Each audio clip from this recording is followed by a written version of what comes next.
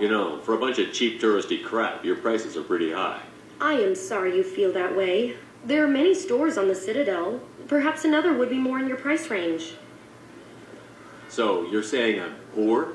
Just because I'm not as well off as you doesn't mean you can hold yourself above me. What?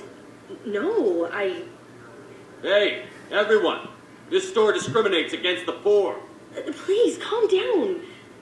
Apology, I'll let you have my station employee discount. Is that acceptable? Well, alright. But you still hurt my feelings.